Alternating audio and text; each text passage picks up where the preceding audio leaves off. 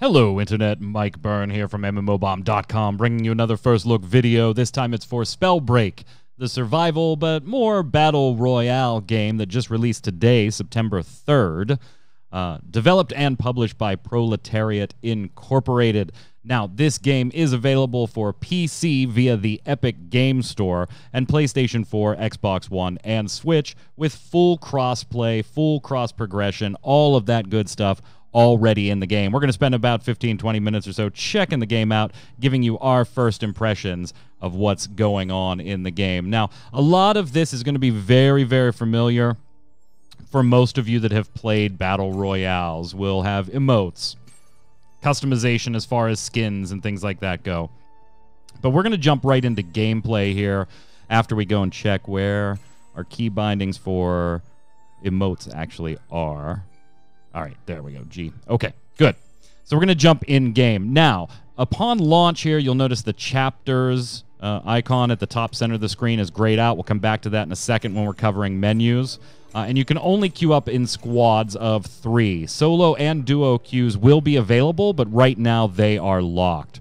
So we're going to jump in, and when you do, you pick one of six classes basically, and that determines which gauntlet your character wears on their left hand. So, for instance, we'll be playing the Pyromancer, so we'll have a fire gauntlet on our left hand for the entire match.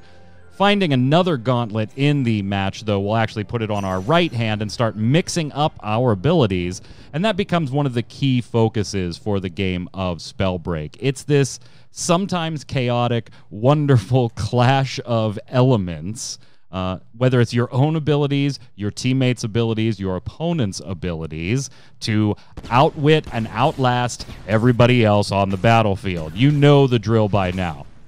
So we're going to go into a lobby here. We'll come back to the menu and talk about different traits and uh, cosmetic items in the shop after a match here. But I want to take you through some gameplay while we wait for the lobby to queue up here and uh, talk to you about the user interface. Notice that you do have a map where we can pick our drop-in point, and so all three of us randomly queued into this squad together. We're going to end up taking the same point and jumping here just uh, just northeast, or I'm sorry, northwest of the lowland outpost. I do have two quests in the upper left-hand corner of the screen that you can see there. You start with three. I've just happened to complete one. Stick sticking with typical battle royale tactics, the game is going to throw us in, and we have a little bit of control over where we're going here. We're just going to slam into the ground, though. There is no parachute or glider or anything like that. But one of the customization features, as I'm sure you can imagine, is the trail behind us. You'll earn them in game, and you can buy some from the cash shop, I'm sure, as well. But before we get into the gameplay, let's take a look at the user interface. Upper right-hand corner, you of course see our mini map with the timer, the number of kills that I have, obviously zero right now, and the number of players in a match. That key is number 42. That's going to be 14 squads of three to queue up in a match. In the upper center of the screen, we have our compass. Fine, great. You're all familiar with this. Lower left hand side, we see in the lower left corner our entire party. My bar, obviously, being the biggest one at the bottom of my party's bar. Now, it's a little hard to see because I don't have a shield yet, but the uh, you can kind of see it on my second teammate there, the blue bar above the orange one. There's a shield or, or an armor bar, and then the orange bar is your actual health. Below that, you see three icons an amulet, uh, a belt, and boots, of which I've just picked up two of different rarities. So these are stat modifiers. The belt is what actually enables you to use your potions and additional armor pieces that are in the lower right hand corner of the screen in the four hotbars. So I don't have a belt right now, which means although I've picked up a minor healing potion or two, I can't actually use these yet because technically I don't really have the ability to carry them. They do also offer stat modifiers, which is why rarity matters in just about everything you pick up. Notice I've picked up a blue amulet and green boots. So I'm getting mild stat modifiers. Green being uncommon, white being common, green uncommon, blue rare, purple legendary, and orange is a legendary or a mythic, if you will, with corresponding stat increases as you get better and better rarity of items. Now, we've already found a second gauntlet. It's not the ideal one that I really want to run around with because I do have a quest right now to deal wind damage. But in lieu of not having any second gauntlet, I went ahead and picked up a rare lightning gauntlet. So you can kind of see the U, uh, the UI in the bottom center, how it plays out. You've got two abilities on the left of the center. That is your left mouse click and the letter Q. So the left mouse click is my Fire Gauntlet's basic projectile, Fireball, where Q is the Pyromancer's uh, specialty ability, in this case, a Flame Wall.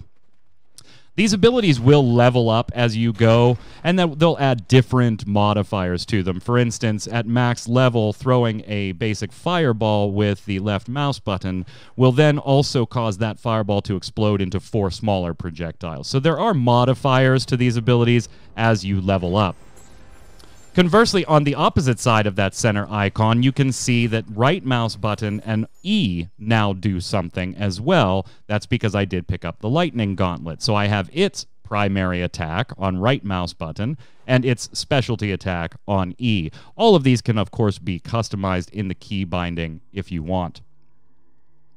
Now, you can mix and match the elements to your desire Picking up a more rare fire gauntlet will let you upgrade your fire gauntlet, but since we're a pyromancer, we will never be able to ditch the fire gauntlet. Any other gauntlet we pick up would automatically be swapped for the lightning gauntlet we're wearing on our right hand side. These abilities also do combine with each other in various ways that will be worth taking the time to figure out what works best for you if you were running solo and how can I use my abilities to complement those of my teammates, seeing what they're using? For instance, if you're running with a pyroblast and you have your fire gauntlet on your left hand, and on your right you decide to put a toxic or poison gauntlet, that poison gauntlet gives you an ability to generate a poison cloud in an area. And by itself, it does some damage over time, poisoning a character. But if you pop that cloud somewhere and you hit it with a fireball, you can burst that entire poison cloud for additional damage. Other elements combine in other fun and creative ways that sometimes get a little chaotic and sometimes can be totally accidental when you're in a fray of five, six, or seven players all battling in one area. In the dead center bottom of the screen, we have our rune. Again, all of these, like gauntlets and our boots and belt and amulet, have rarities that give them more and more effects as you find more and more rare ones. In this case, we're going to pick up. Hey, nice find we're going to pick up and change our rune to a legendary dash rune here. So it's orange, ultimate rarity here for us. And this particular one, upon pressing shift, will give us a very, very speedy dash ability. Other abilities that you can get from runes include the wolf rune that's going to allow you to let loose a awesome sound effect howl uh, in the game and will reveal enemies that are nearby through walls.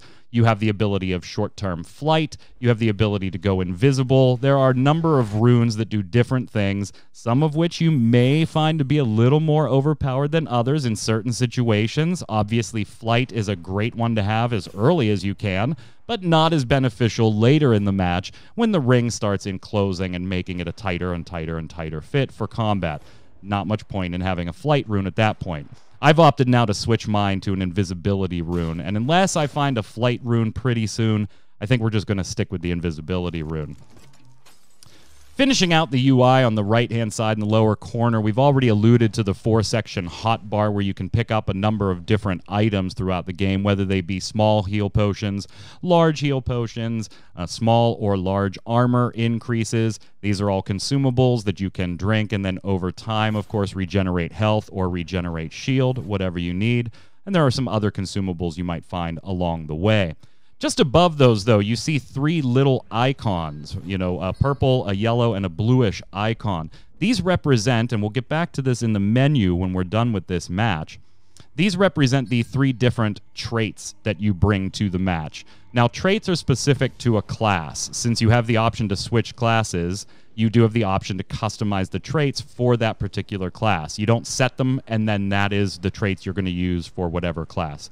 So you do have to remember if you swap to a new class, go take a look at your traits to make sure the ones they're the ones you want to use. Now I just happened to find an basic, uh, basically an airdrop here So uh, we go ahead and get a nice chunk of legendary equipment, which should help us out. Notice around these three trait icons, again, we'll get more into actually what traits are and what they can do when we get to the menus after this match. There are three dots.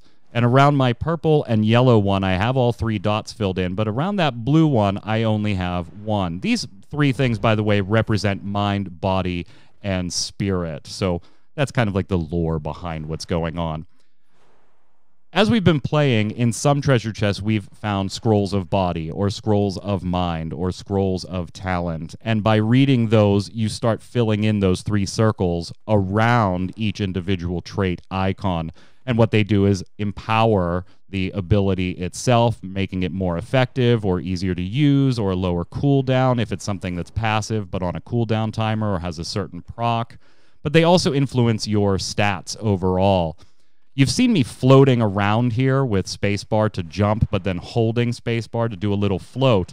And in the center of the screen under the crosshair, you see this little bar of some type of resource going back and forth.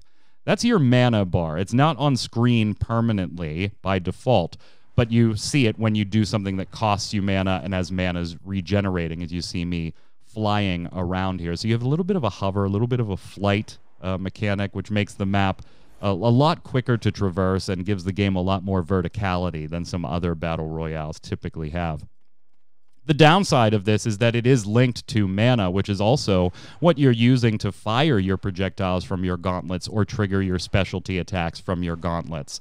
So, in the heat of battle, not only are you managing your mana and resources for the offensive, what abilities you're going to use, but also there's a little bit of simultaneous management of the same resource when you're thinking defensively. How am I going to jump or fly out of this mess that I'm in right now when I also need to be able to fire a fireball? Notice that we have just leveled up for the final time there, so you can see that my conflagration skill is now online. When I cast a fireball, it will then hit the ground, cause some fire that can cause some uh, uh, damage over time if you stand in it, uh, but will also burst. Now, most of this match, we haven't had to do combat at all. Our squad has been searching around. Now we finally find some opponents. And we're all the way down in the eight people left mark, eight or nine people left area of the, the game. So we're in the final throes of this match already. A lot of time was spent just us looking around and gearing up. I will tell you, I've played about a half a dozen matches of this now, some of them on stream earlier today, and then this one for the first look. The matches are a little faster than most Battle Royales, even when you come in first place and you're the last squad or last person standing the battles do go faster. It's a nice touch. Uh, it's a very quick jump in and jump out battle royale if you need that. It does get a little more chaotic, though, than other battle royales because since all of these spells and elements interact with each other, there is friendly fire. So firing a fireball into an opponent while somebody else is standing next to them could potentially damage them too throwing a fireball right in front. Oh my God! Look at that firewall. He just got ripped apart by that. That was great placement on that Q ability firewall there. Uh, anyway, putting fire on the ground, even my own, uh, will cause me to take damage if I then in turn step in it. So it can get very chaotic in battle sometimes, but it's actually a lot of fun for me. I enjoy it. It might not be everybody's cup of tea though when, you know, your other battle royales you're used to not having to really worry about where your teammates might be standing or what they might be doing because you can't damage them to begin with. Now we're taking advantage of our invisibility cloak as well. Notice that I've disrupted somebody right there. That basically means I have killed them, but they aren't out of the game yet they're a hovering little spirit. If I can find them and uh, eliminate them, then fine. I will get all the loot that they are uh, wearing on them when they die. But if their teammates find them, they can be revived over time. So once you're downed, you're not necessarily out. You could be revived by a teammate. Now we use our invisibility cloak and come up and just drop fire on both of them from a very close distance, and then we'll disappear and head off into the woods again. Now, my teammates aren't really all that close to me as far as being in this fray. It seems like they're getting uh, bombarded down the hill here by somebody else. So we're going to kind of bring everybody back into one place. Got to hover over my own fire. My shields are almost gone here, and now they are gone. So we're going to start taking health. Notice that one of my teammates in the lower left is downed. You can see that it's a yellow bar that is ticking downward now. So they are a little spirit floating around, hoping for a res and hoping not to be exiled by another player. I've disrupted another player, but again, they are not out. I did exile this person, so they are fully gone. And we're going to try and get this person here as well. It's funny. So I streamed this game today on MMO Bomb's uh, live stream. We do it every Monday through Friday at 2 p.m. Eastern. We got the walls closing in, so we're going to have to move. Uh, on twitch.tv slash mmobomb. And the game did just come out today, and I had not taken part in any closed beta or anything, so I had no experience with the game. Uh, I have come in second and third in Battle Royales many, many, many times. Uh, I came in first with my squad and was the lead on exiles and assists. Uh, and all in all, we have played six matches, uh, and I have won almost. I have won half of them, three out of six. So it's actually a battle royale that I'm so far right. It's brand new, right? There's going to be people that are just going to become so pro at it that they'll eliminate me in a second. But I haven't been playing all that badly, which is odd for me. So it was a totally new feeling to sit there and play a battle royale and not just be sublimely awful at it. To be I holding my own, not the best, but able to hold my own. The effects in the game, I love this art style. It's kind of that cel shaded esque look that you see from Zelda Breath of the Wild, or maybe in the free to play realm. It best, best be compared to. There we go. Two exiles and two assists, and that's the best on the team there, too. Uh, maybe compare it to Genshin Impact, that kind of a look. In chat on stream, somebody said it kind of looks a little like Fortnite, uh, too much like Fortnite for their taste. And well, I can see that point, maybe a little cartoony with a dulled down cal- uh, color palette. Uh, I still th- tend to think that it leans more towards the Breath of the Wild uh, or Genshin Impact art style. The game so far is a lot of fun to play. I do have some gripes about it, but they're more menu based, so we'll get to those in a second. Now, we have ranked our mage up five. That is our personal profile. We are a mage, and as we level that up, we will earn rewards, mostly gold, which is the in game and cash shop currency. They are the same thing here. I have 200 in the upper right hand corner of the screen, you can see. Uh, so they're both joined. I actually like that. Um, but mostly through leveling up, you'll get gold, sometimes emblems and other pieces of uh, cosmetic gear and things like that. There are 100 levels currently for the mage profile. There are 20 separate levels for each class, giving you their own rewards as they go up. And when you see that in the screens, it looks kind of like a, a battle pass screen, but there is no battle pass in the game, at least not yet. Not yet. I assume at some point there will be. It is a battle royale after all. Now let's go through some of the menus here and talk about some things in game. Gameplay wise, feels nice and smooth, nice and crisp. The music is phenomenal. I need to call that out. I've absolutely loved some of the tracks in this game. As far as the gameplay goes, again, it can be chaotic. I didn't have any performance issues, frame rates, or anything like that going on. It does feel a little floaty at times. It's out of beta, it is launched, so maybe that will change, but it's kind of unlikely it's going to change quickly or dramatically anytime soon. All right. So let's go through the menus. Taking a look first at our collections, this is where most of your costume and cosmetic items are going to sit. First off is your outfit. Now, it, that's not just a clothing skin, that is your entire character. You'll pick one of these at the outset after you do the training and practice modes, which are the only two other modes in the game, by the way. And they change your entire character, whether that be from male to female to a totally different look here. So, just equipping this outfit here totally changes the character. So you'll pick one and then you'll earn some more along the way. Artifact is, I believe, your cape on the back. I don't have any of those yet. Afterglow is when you're floating through the air. Conversely, you have Cloudburst for when you're landing. A few emotes that you'll get right off of the bat. A Triumph Hand Wave is the one you'll start with. Now, just like Destiny and other games, you have both a banner and a badge. So you can see in the uh, Magic Man banner there, You've got the flame background with the flame next to it, and no titles yet. Mastery is where you're going to keep track of all of your stats. As you can see, I've been playing the Pyromancer. I stuck with that because that was what they played in the tutorial, so we had a little bit of an idea of what it was going to do along the way. And my Pyromancer is rank 4. You can see that there, while every other class is still rank 1 because we've never played them. Off to the right, you can see the rewards that we will get for the next two ranks up with our class, our our class and our rank. So we rank up to five with our uh, Pyromancer. We'll get that first reward when we rank up our actual profile, which is just above this list of classes where you see Magic Man rank five there. We'll get that award on the right hand side as, as well. And overall, across the top of the screen, you can see some overall stats as we go there. How many matches you've played, how many exiles, how many assists, etc., etc. Taking a look at the rewards panel here, this is one of my gripes. This kind of is pain in the ass to get into to see what your rewards are. Mousing over them on the previous screen does not tell you what they are.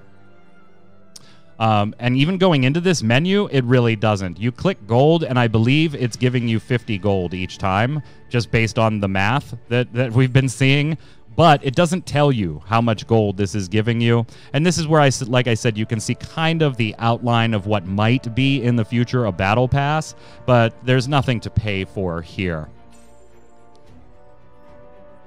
Looking at the individual classes itself, you see the same thing. And I wish there was more information on this screen. And I also wish that it wasn't hidden three screens in. You have to go to Mastery, then see all rewards, then go to Pyromancer. It's kind of a pain. Friends menu functions exactly as you'd expect. And then you have your news panel for anything new. Notice that chapters in the middle is grayed out. You cannot access it.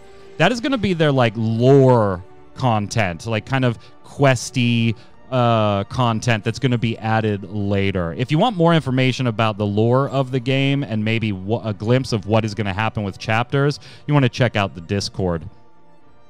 In the shop, we take a look at a couple of things that are available right now. The starter pack is also available if you want to purchase that, although you will find that in the gold tab when you're playing through PC on the Epic Game Store like I am. You can purchase it for 600 gold or for 499. When you're purchasing gold, whether it's uh, in little bundles here or not, it's basically one gold per penny. $10 will get you 1,000 gold, although you do get bundle discounts when you buy bigger and bigger. That means when you're looking here, things like these featured skins are about $12. A common emote is about $2.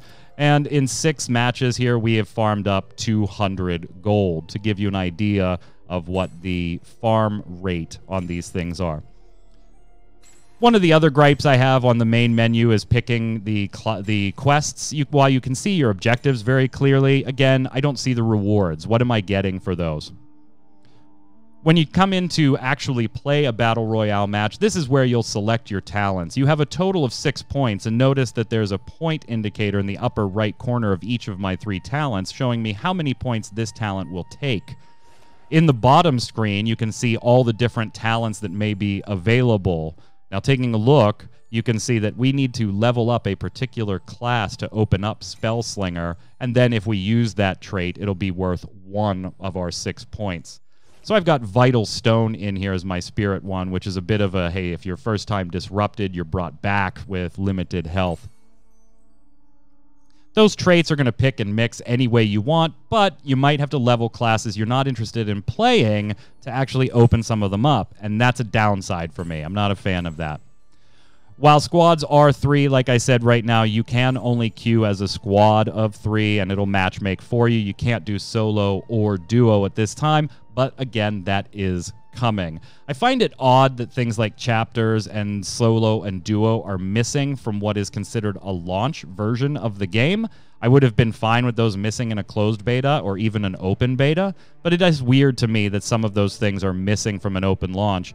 And some of the functionality of the UI, like not being able to mouse over these quests to tell what my rewards are, whether they be gold, experience, uh, or something else, and having to dig in the menus for some of my future rewards. I find that a little aggravating, so I hope that stuff will change.